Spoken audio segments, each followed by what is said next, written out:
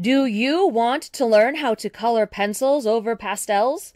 Today I'm sharing my top five steps for coloring these two lovely art mediums together. And watch to the end for some bonus tips. For anyone who's new here, I'm Lisa Marie. Welcome to my art studio. Okay, step one. Color in pastels first. They will block in colors on the paper and work as a type of underpainting. This is the foundation of color that you will build on.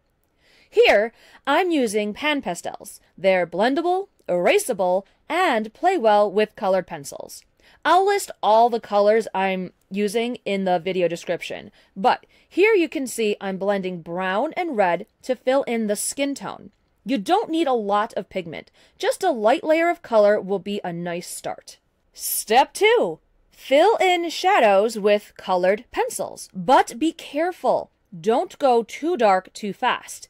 We're going to layer colors, so you don't want to fill all the tooth or texture of the paper right away. Blocking in the shadows will give you a great sense of the lighting and give the image volume. Here, I'm using Prismacolor pencils. They blend very well with pan pastels. All the art tools I'm using today will be listed in the video description. Also, before I forget, be sure to tap that like button and leave a comment. Let me know what you think of the pastel and pencil combination. Step 3. Fill in the rest of the surface area with color pencils. Remember, the exact colors I'm using are listed in the video description, but I will say that the way you apply pencil matters. For a nice smooth blending where you don't see pencil lines, apply color in small circles. This is very useful for smooth looking skin tones. If you're not sure how colors will look when they blend together, it is absolutely okay to test them on scrap paper first. Step 4. Add another layer of color with pencils. This is why you don't press down hard with that first layer of color. This new layer will give you beautiful color saturation and another opportunity to smoothly blend colors together. As you get to the lighter colored pencils in your color palette, you can press a bit harder on the paper to blend all of these layers of color together. Step 5. Use white colored pencil for the brightest highlights. We already pushed those shadows. The white pencil will push the lightest areas. This will give you a great contrast between the dark and light and help make your image stand out and look a bit more three-dimensional.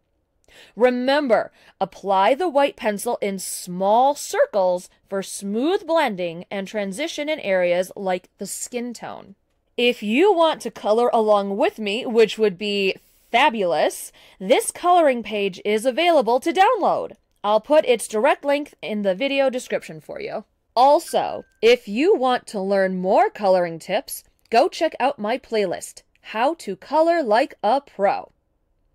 Okay, you can repeat these steps in every area of the page. For areas where you want texture, such as hair, Apply the colored pencil in dashes or lines.